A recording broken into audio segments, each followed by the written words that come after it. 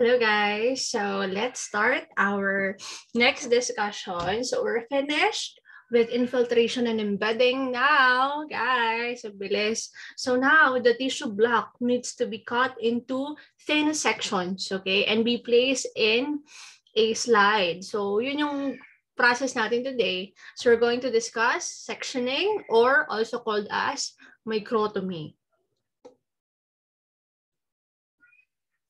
So our topics for today, so the process of sectioning, what is it? The, di the different types of microtomes and knives that we use in the process of sectioning. Hanggang microtomes lang tayo sa part 1. The stropping and honing, ways of sharpening your knives. Yes, kasama yan. And uh, the steps on sectioning and minor steps after sectioning. Okay, so pag-aralan natin, let's begin. So guys, notice here. So the woman yan, has inserted the tissue block in a equipment called microtome. And now she is creating tissue ribbons or tissue section. So that process that she is doing down there is sectioning or microtomy. Okay? So just take note, guys, isn't it that I think thick tissue class, you cannot focus it under the microscope. Diba? So it should be very thin so that you could view it under the microscope so that light could pass through it. So that would be possible through sectioning and or microtomy. Okay, so it's also called as microtomy because the equipment that we use, guys, is microtome. Okay, so it's capable of producing thin sections. So we are setting a specific type of thickness. Yan. So, ang measurements natin ngayon is on microns. Ganun, gani, kanipes guys, micrometer or microns. Yan, ganon kanipes. Di ba? I, I mentioned that it's as thin as the hair. Okay? Actually, yun na yung minimum thinness. Okay? Unless you're cutting hard tissues, medyo makapal dapat.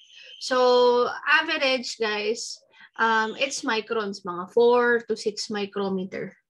So, we use a steel knife or blade which is fixed to the machine. So guys, using a microtome is highly dangerous kasi there is a blade and knife involved, okay? And especially guys, if it's a manual microtomy, yan. So, ito, yung iniikot yan, yan, manual. So, it could cause ergonomic uh, hazards, yan, due to repetitive movement. So we have, so basic parts of a microtome. So all microtome guys have a block holder or tissue block holder where your tissues are placed on a certain position, on a fixed position, ganyan. So nakalagay dyan. We have a knife, carrier, or holder. Yan dito, yung sa may red na yan, dyan naka, ina-attach ang knife and we have ball, ratchet feed, wheel and adjustment screw. So guys, this is the mechanism inside the microtome. Itong pole, ratchet feed wheel and adjustment screw. Nasa loob. This happen inside the microtome. Okay? So this mechanism guys, so once you turn this wheel, yan, tataas at baba yung block holder. Okay? So to line up the tissue block in proper position with the knife, adjusting the proper thickness. So guys, pag minumove mo rin tong microtome, nag nag-forward yung tissue block. Okay, so that it would come in contact to the knife. Yan, mamaya pag pag-aralan natin. Yan. So we have different types of microtomes. So we have rotary, we have rocking, we have sliding. Under it, we have two. We have ultra thin, we have freezing microtome, and cryostat or cold microtome. Pero parang hindi na masyado ginagamit yung cold microtome. It's cryostat. Okay. So for first, we have rotary or mi minot microtome. Yan. So rotary microtome. So this is the most common uh, microtome that we use in the laboratory. Guys, uh, wala pa rin tatalo sa manual because even though there is no current you could use it. That's the main advantage of it. And guys, if you bought a really good quality of microtome, you could use it for years, okay? Pwedeng gamitin ng matagal na panahon ang isang microtome, okay? So we have manual, semi-automated. So one motor to advance either the fine or coarse hand wheel. So we have two wheels. So, ayan. Kaya fully automated. So sure ako na fully automated may may ganitong um, buttons yan that will adjust the hand wheels. So ang galing no guys. So kahit fully automated na siya, hindi pa rin nakiki- nawawala yung ganitong for- format niya. Okay, so thank you for the GIF ng mga nahanap akong GIF. So guys, this is fully automated. Yan, kasi merong ano, eh, button eh. So, at least there's no repetitive movement pag ganun. Hindi na kailangan ganun ng ganun si MedTech, yung advantage niya. So, let's uh, let's see kung anong na, kung anong characteristics ng rotary or minute microtome. So, it's uh, most commonly used. It is a vertical movement, okay? So, the tissue tissue block uh, tissue block moves vertically. Yan. Yan. Mamaya you would see other movement of the motor, other microtome. So, vertical to, okay? And what else? It's for paraffin. Yan. So, best ang paraffin sa rotary. Pwede rin large blocks. It, it would fit. Yan. Notice, oh, yung lagyan ng tissue block. Yan. So, hindi masyadong, hindi okay yung masyadong malaki. And you need to trim the tissue block to let it fit in the tissue holder. Okay? Not so. Okay? So, inventor Minot from 1885 to 1886. Tagal na rin. And the uh, tissue ribbon that is um, produced is 4 to 6 micrometer. Yan. So, yun na yung pinaka-manifest, 4 to 6 micrometer. The advantage of your rotary is it could produce serial sections. So when we say serial sections, marami. It can produce a large number of sections. And guys, the rotary or microtomes, guys, are heavy. It's about 40 to 60 pounds. So about mga 20 to 30 kilos. Ganun kabigat, guys, because um, it should be, the microtome should be very stable. Yan. Because class notice, di ba? Every time there are moving parts, there is vibration. And guys, vibration on tissue sections, guys, is bad. Okay? It could create lines, horizontal lines, or washboard effect sa tissue ribbon mo. Ayaw natin yon.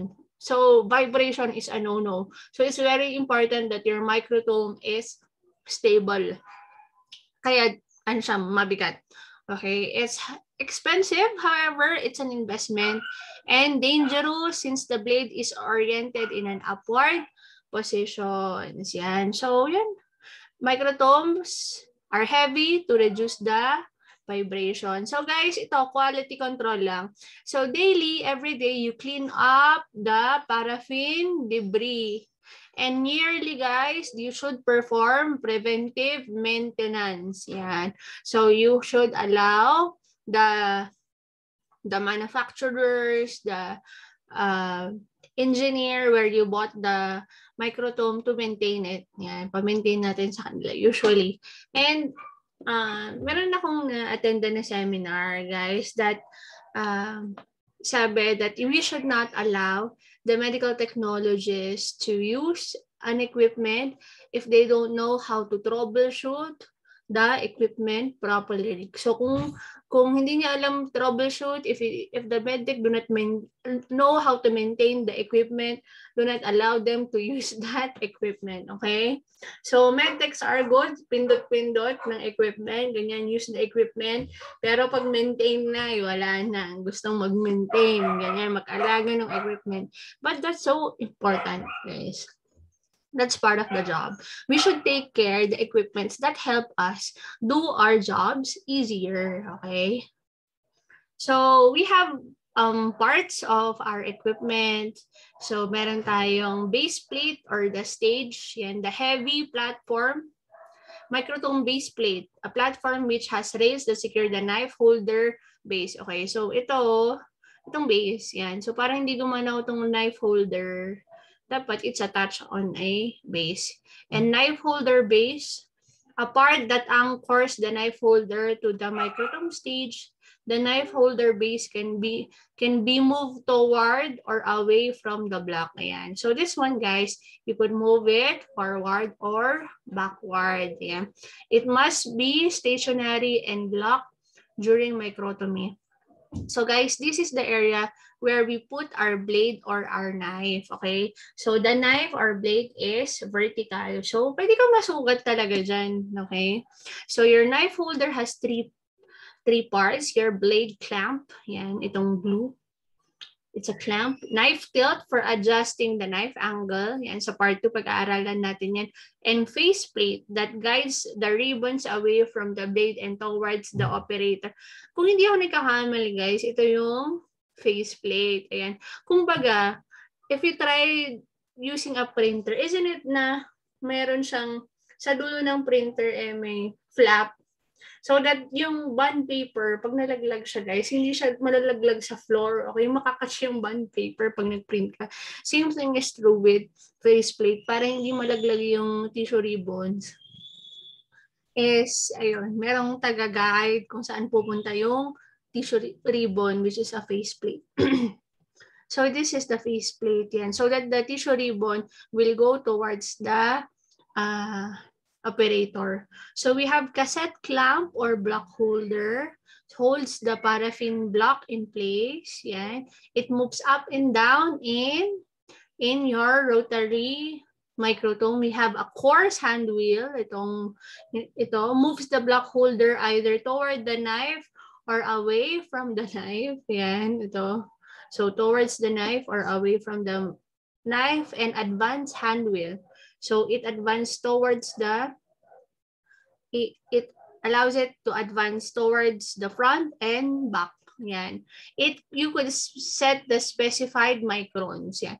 I think, yeah, ito to. Yan. So, guys, you could specify the specify the micron. So, pag i-adjust mo tong micron, ang ang mag-iiba itong advancement hand wheel.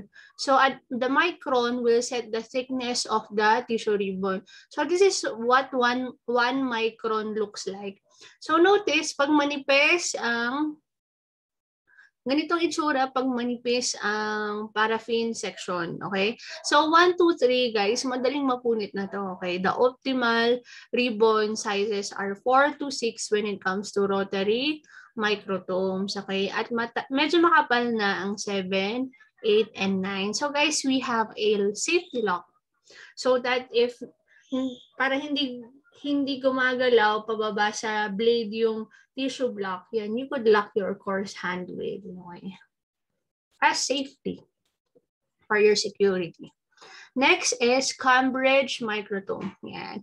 So here, ang kamay naman, it's in a rocking motion. Ganun naman ata ito. Yan.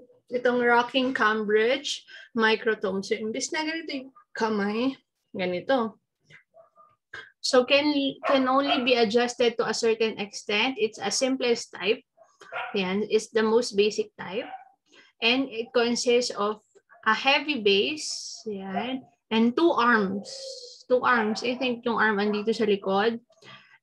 It could cut small and large blocks. Yan. For paraffin embedding, it's the most simple by Paul Trefal in 1881. So mas luma itong racking or Cambridge microtome. It gives thicker sections, 10 to 12 micrometer or micron. It has rise, rise, size restriction. So medyo makapal. Difficulty in orienting the block. It's hard siguro to adjust kung gaano kaharap yung tissue block. Cannot be used for serial section since tissues are cut in slightly curved planes. Hmm. So, serial section, so rotary pa rin ng best. Next, guys, sliding microtome yan. So, notice, kanina, yung sa rotary, yun yung ano natin, rotary, guys, yung knife, it's stable, okay? Now, here, this is the most dangerous because the knife is the one that is moving instead of the tissue block, okay? So the tissue block remains uh, stable or or held firm on the base. Ang gumagalaw ay ang ang knife. Yan, that's very dangerous. Yan. So it's horizontally moving It's for hard tissues. Yan. And hard blocks. For celloidine and ester wax, ang mga sliding microtome, mga mas matitigas kay paraffin wax. And 4 to 9 micrometers. Pwedeng, kasi guys, itong mga dense tissue, mga undecalci mga decalcified bone, kailangan medyo makapal para hindi siya mag-crumble, okay? And most dangerous type. So we have two, we have standard sliding. So the advantage of this, yan, since nandito guys yung tissue block, you could place large tissues, okay? Large celloidine blocks. So I think this is the brain, okay? More dangerous daw to. This is more dangerous. And we have a base ledge. Yan. Yung base ledge, yung, yun yung nasa GIF rin ka, kanina. So, for hard and tough tissue, so black could be moved. Okay, siguro yun yung advantage na produces serial sections. Okay, next we got we have ultra ultra thin microtome. So this is for electron microscopy. What's awesome about this, guys? It uses glass knives or diamond edge knife. Ang brand nitong diamond edge knife is a diatome. Yan. So, ito yung knife, guys. At dito sa maliit na to, nasa circle na to, is the tissue block. Yan. So, guys, as thin as 0.5 micrometer. So, complete, compare nyo naman na 4 sa rotary. Ito, 0.5. Okay, less than 1. So, ganun ka, liit rin. Ang, ang liit lang pala ng paggagawa guys ng plastic resin. So, sabi na, special process required in fixation osmium tetroxide. Tama, kasi nga, electron microscope na to, okay? And the embedding medium is a plastic. Plastic resin, epoxy. Yan. So, close up, guys. Ito na, oh, plastic resin. Itong color na to. Tapos ito dumadaan dito. Diatome. So it has a diamond. It's diamond coated. Naisip ko tuloy guys, kung magnanakaw kayo ng something sa laboratory, ito diamond coated itong knife ng electron for electron microscope cutting. Yan. So ganito kaliit yung plastic resin. Dito mo i, i itatama. Ikakat yung yung pang electron microscopy mo. So, ang galing. And please search videos how do they use this one. Next, guys. Freezing micro microtome. Yan. Yan. Tinan nyo tong freezing microtome. So, this is the first one before cryostat. So, notice siguro yung environment niya, ang lamig. Kasi it's not housed on a cabinet. Tama? So, you, the, the, the medical technology is exposed to liquid nitrogen or dry ice, whatever freezing agent they're using carbon dioxide. Yan, ang lamig gamitin siguro nito. So, wala siyang gloves. Ang galing naman nung gumagamit itong freezing microtome. So, lumalabas pa yung, ano, yung moisture and all. Okay. The stage is hollow and perforated in order to freeze the block or tissue. It is used to cut, ang advantage niya, to cut undehydrated tissues. So, need, no need, Usually naman, pag sa cryostat, no need to dehydrate. Fats or tissue content may be damaged and it's for rapid diagnosis. So, syempre guys, cryostat is way superior kumpara sa freezing microtome. Ito siguro yung tatay niya. So, it's invented in 1848. So, mas luma pa to sa, sa Rotary, sa Cambridge. And its thickness is 10 to 15 micrometer thick for neurological tissues. Okay. Yan. So this one is your cryostat. Kita nyo naman, no, ito ang crude-crude. Ito, oh, it's ergonomically pleasing. Yan. So, mas maganda. Yeah. And at least you could use this beside the if you are in the surgery room, operating room, sa labas niya, pwedeng nakalagay lang to, di ba? So, yan. So, the microtome, usually a rotary microtome is housed inside a cabinet with a regulated temperature. Yan. So, good. Next, guys. So, refrigerated cabinet. So, we could use liquefied nitrogen, isopentane, dry ice, carbon dioxide gas, and aerosol spray. So, the size is rotary, 4 to 6. The temperature inside is negative 5 to negative 30. I think it's way colder gumamit ng cryostat imbis na freezing microtome. So it has so many advantage, hindi ba? So intraoperative diagnosis for rapid uh, rapid diagnosis, for enzyme histochemistry, for labile enzymes. So when we say labile, enzymes which are unstable, easily distracted by destroyed by heat, immunofluorescent.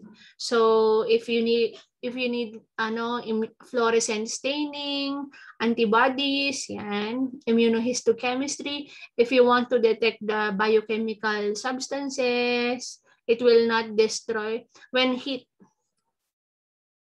may inactive and or destroy antigen. So, yun nga eh, 'di ba hindi natin hindi okay ang immunostaining pag paraffin wax. Kasi it could destroy antigen. So guys, for cryostat, we don't use um, paraffin wax for embedding ha. So sometimes gelatin, some we have this ano eh, OCT, hindi ako nagkakamali. Yan, tapos it could be for lipids, determination carbohydrates, for silver staining, and yan. So guys, that's the end of our part 1. Mag-ready sa part 2. Bye-bye.